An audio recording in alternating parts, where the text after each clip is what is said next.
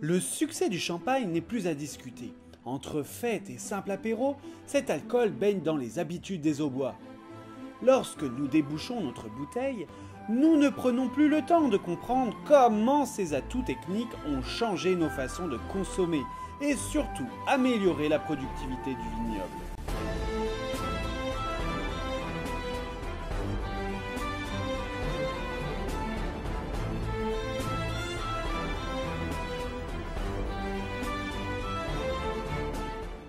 Comme toute histoire, on commence toujours par une légende.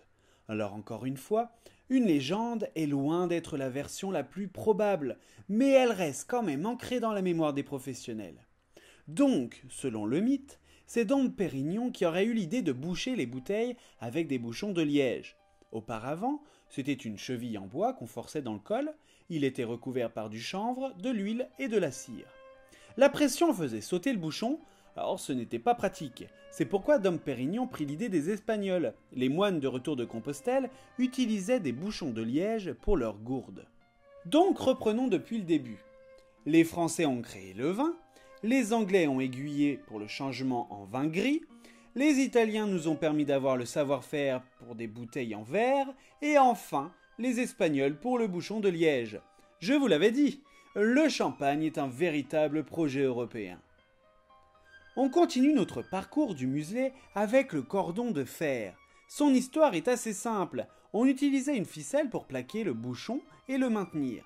Rien que cette ficelle, c'est plus de 15% de bouteilles en plus qui ont survécu au trajet et à la pression de plus en plus importante selon les recettes. Maintenant que les vignobles sont satisfaits de cette nouvelle technologie, enfin ils pouvaient entreposer les bouteilles sans se retrouver inondés de vin dans la cave.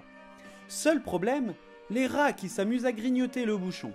Une perte de plus en plus excessive. C'est pourquoi l'idée d'une plaque en fer est mise en place. Maintenant, nous connaissons cette plaque de fer grâce à la capsule de collection. Merci aux rats de nous fournir cet atout esthétique.